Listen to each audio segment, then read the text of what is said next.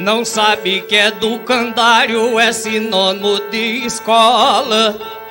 A palavra saliência corresponde à quebra-mola e que tanto faz dizer lira como se dizer viola.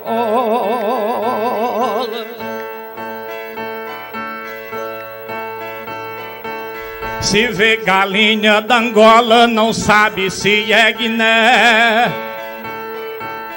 Discorda que armadilha seja o mesmo gereré. Quer ser sábio, mas é bobo. Não quer ser bobo, mas é.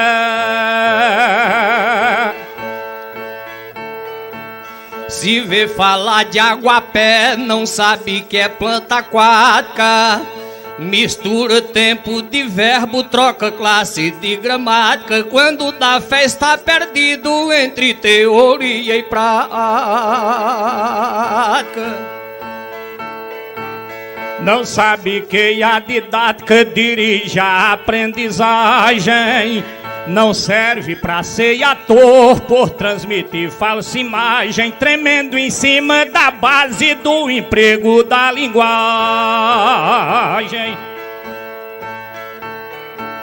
Mesmo sem comer pastagem, às vezes passa por burro, por discordar que balido é sinônimo de sussurro, não passa de ignorante de sorumbático e casmurro.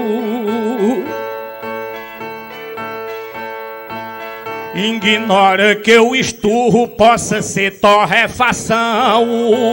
Se for fazer um discurso, vai passar decepção. E se fizer um concurso, não terá aprovação. Se faz uma redação, mas é por fora da norma. Quando comete uma gafe, briga, mas não se conforma. Prossegue falando errado, mesmo depois que se forma. Tenta distorcer a forma da justa expressão verbal. Se acaso sair do sítio pra morar na capital, não inova o conteúdo que traz da zona rural.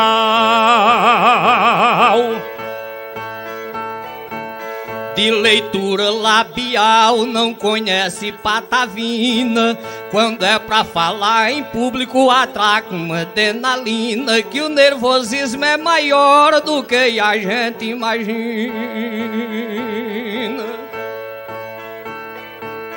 Coloca culpa na sina por não praticar leitura. Tem como se corrigir, com preguiça não procura. Pode ser rico de bens, mas é pobre de cultura. Na festa da formatura dá uma de primitivo, porque finda misturando sujeito e substantivo, adjunto e advérbio, a crase e adjetivo. É menos informativo e mais desatualizado triste por ser excluído do mundo globalizado, como um produto sem chance de competir no mercado. Prossegue falando errado, sofre, mas não renuncia. Prefere mudar de assunto do que mudar a grafia e erra mais quando escreve do que quando pronuncia. Não é o cego de guia, mas é o de consciência. Por mais que ele seja adulto, alimenta a inocência. Prefere levar um murro do que uma advertência. Coloca uma reticência no lugar do circunflexo. Pra ele o dicionário é um troço mais complexo do que usar camisinha na hora de fazer sexo.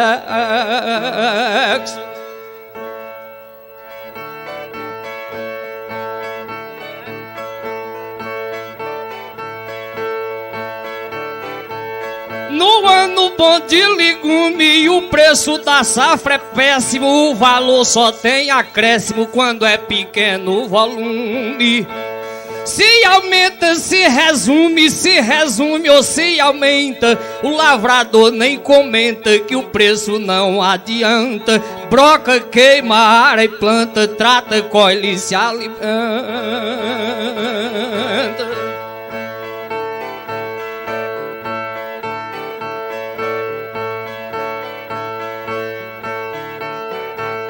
O trabalhador rural demonstra um grande heroísmo, pratica malabarismo pra ver se sobra um real. Às vezes lhe falta sal, alho, cebola e pimenta, mas ele nem se lamenta, ao contrário, ri e canta, broca, queima, área e planta, trata, colhe e se alimenta.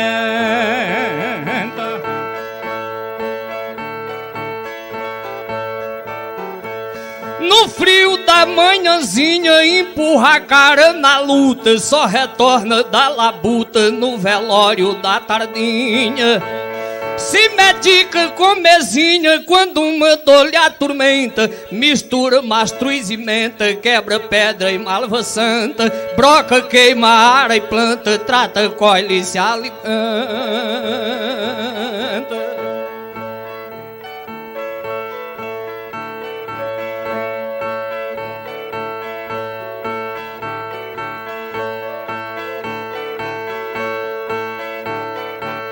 O nordestino vassalo trabalha toda semana, o bolso seco de grana e as mãos lotadas de calo, pra ter pamonha de ralo que é melhor do que polenta e suco de água barrenta por não poder comprar fanta, broca, queima, área e planta, trata, colhe e se alimenta.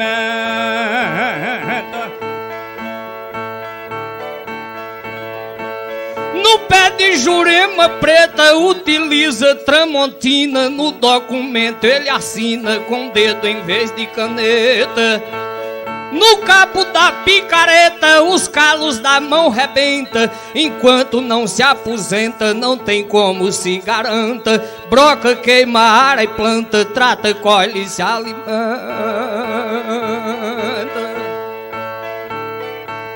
O camponês da enxada só come se a roça der Pra sustentar a mulher e pra criar a filharada. Sua luta é tão pesada que eu nem sei como ele aguenta Derramar suor da venta pra ter almoço e a janta. Broca, queima, ara e planta, trata, colhe e se alimenta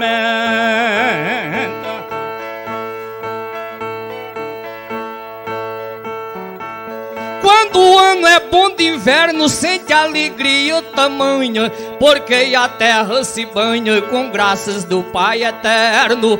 A fome vai para o inferno, a fartura se apresenta, a cigarra se afugenta, o carão abre a garganta, broca, queima, ara e planta, trata, colhe e se alimenta.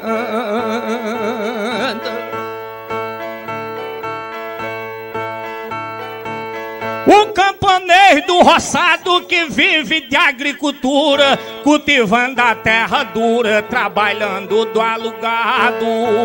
Seu serviço é tão pesado que eu nem sei como ele aguenta. Com o peso da ferramenta que ele abaixa e levanta, broca, queima, ara e planta, trata, colhe e se alimenta. No banco o governo pensa que ele quer anistia. A juro quem financia exige uma taxa imensa. Quando a seca é muito extensa, ele se desorienta. Que o rebanho que apacenta não tem pasto pra que manta. Broca, queima, ara e planta, trata, colhe e se alimenta.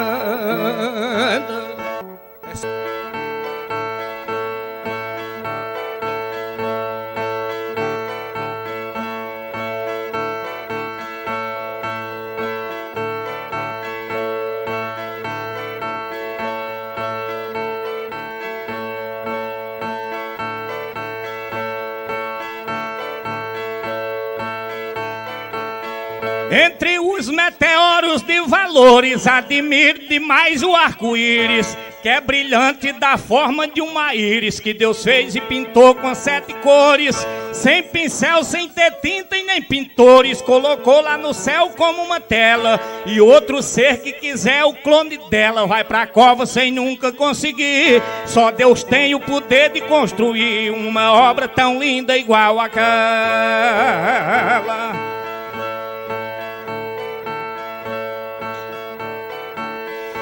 Fui olhar um oásis construído num deserto, num pé de uma chapada. Desmaiei vendo a obra fabricada pelas mãos do Messias prometido. Cada planta um buquê mais colorido, cada rosa uma essência dentro dela.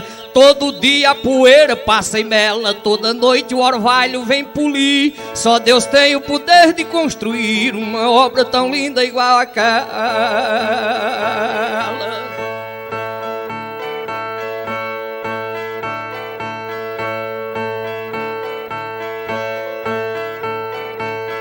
Veja a lua, um satélite incandescente, bailarina que pelo céu passeia. Acho linda demais estando cheia, estando nova, minguante ou crescente.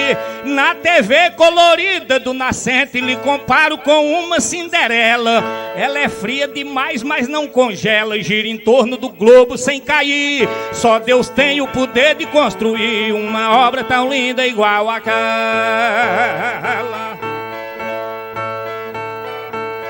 Fui olhar de pertinho para o pavão, mas com tanta beleza fiquei tolo. Deus pintou sem querer pincel nem rolo, tinta em pó e nem tinta de galão.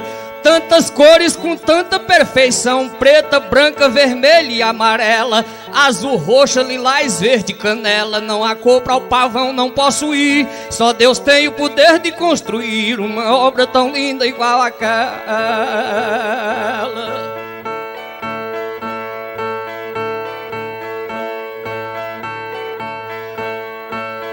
Despertei no horário matinal para recomeçar minha labuta. E vi um anjo regendo uma batuta e a orquestra das aves no coral. Vi o sol sacudir raio auroral por frechar por portão e por janela. E uma barra igual coxa de flanela se afastar para o sol se descobrir. E só Deus tem o poder de construir uma outra obra tão linda igual aquela.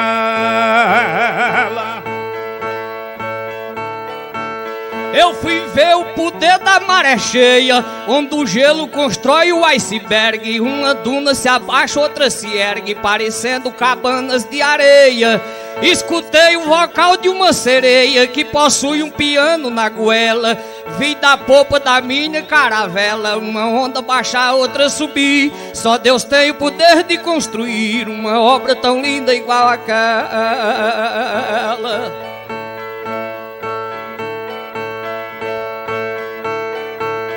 Admiro demais o novoeiro se gerar no azul da imensidão, igualzinho um capulho de agudão e mais macio que pele de carneiro.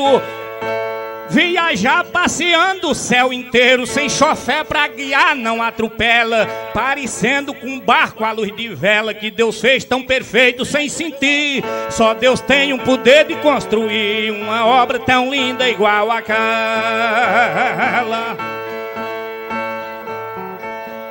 Fui ver uma semente germinando, vi o ventre do chão se lasticendo, vi a face da terra se rompendo, como bolsa uterina se rasgando. Demorei um pouquinho, aí foi quando vi nascer uma moita de Marcela, porque a natureza não dá trela para o milagre de Deus se repetir. Só Deus tem o poder de construir uma obra tão linda igual aquela.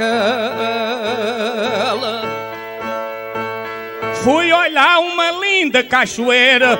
Lhes confesso que fiquei abismado, desalgando na beira de um cerrado e as aves cantando na palmeira. Vi plantio de cana e bananeira, de maçã, acerola e siriguela, e um turista tirando foto dela para chegar na Europa e exibir. Só Deus tem o poder de construir uma obra tão linda igual a cá.